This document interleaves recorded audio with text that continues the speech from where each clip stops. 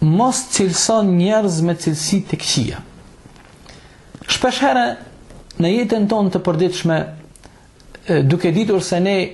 si njerëz që jemi e ndajmë botën me të tjerët, njeriu si një qenie sociale që e ndan botën me të tjerët, ka kontakte dhe jeton me të tjerët, ndoshta në momente të caktuara bjen në situata të pakëndshme që ndoshta ndonjëherë edhe hudh në adresën e personit tjetër gjëra të papranuara. Muslimani i mirëfillt duhet çdo herë të jetë i kujdesshëm që të mos cilësoj dhe të mos i akuzon të tjerët me cilësi të këqija. Ngase pa dyshim se cilësimi dhe fyerja e njerëzve është një vepër e papranuar dhe njerëzit nuk duhet të lëndohen, ngase çdo njeri ka identitetin dhe karakterin e tij. Abdullah ibn Omeri radiallahu anhu tregon se pejgamberi sallallahu alaihi wasallam një ditë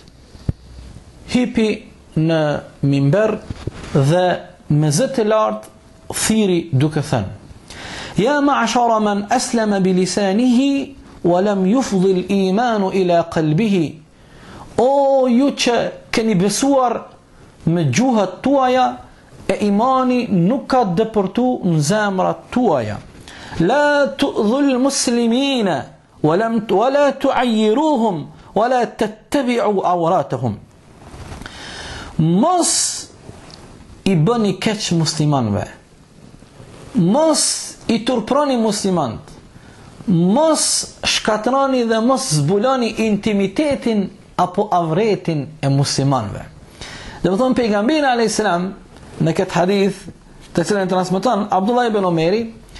pasi ka dëgju se dikush po i bën keq muslimanëve, dikush po i turpron muslimant, dikush po i cilëson me gjëra të këqija, dikush po provon me prek privatësinë dhe intimitetin e muslimanit, pejgamberi alayhis salam ka marrë kët hap. Ka marrë kët vendim. Dhe me zë të lartë, sikur pejgamberi alayhis salam Me këtë zë të lartë po demonstron, po e kundërshton një mentalitet dhe një praktik të tillë, dhe po bën thirrje, mos u bëni keq muslimanve, mos i turproni ata, mos provoni me prek në intimitetin dhe privatësinë e tyre, avreti i muslimanit është një gjë që muslimani nuk duhet asnjëherë të provon të prek në intimitetin dhe jetën private të asnjërit prej muslimanëve për arsye se çdo musliman dhe çdo njeri ka privatësinë dhe ka dinjitetin e tij. Vëllezër dhe motra, dëgjojeni këtë rast ku një shok i pejgamberit alayhis salam, i cili kishte emrin Xhabir ibn Sulejm, një ditë erdhi te pejgamberi alayhis salam dhe Kërkonte këshilla nga i Dërguari i Allahut, paqja dhe shpëtimi i Zotit qoftë mbi të. Dhe mes tjerash i tha pejgamberit alajhiselam: O i Dërguari i Allahut, më këshillo dhe unë të zotohem, ta jap besën se do t'i pranoj këto këshilla dhe do të jetoj me këto këshilla gjatë tërë jetës time. Në mesin e këshillave pejgamberi alajhisalatu wassalam ju drejtu Xhabirit dhe i tha: La tasubbanna ahadan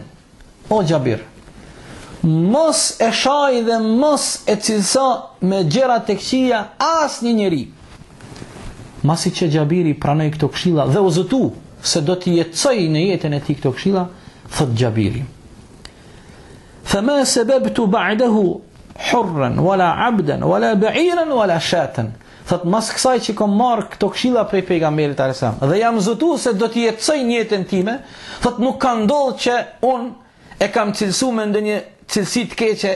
asnjë njeri, qoftë ai njeri i lirë, qoftë ai njeri rob, thotë asnjë kafshë nuk e kam cilësu dhe nuk e kam nuk i kam bërë të keqe prej atij momenti kur prej pejgamberit alayhis salam kam pranu këtë këshillë dhe jam zotu se do të jetoj me këto këshilla. Pastaj e kemi një hadith tjetër ku pejgamberi alayhi salatu wassalam ë thotë a e dini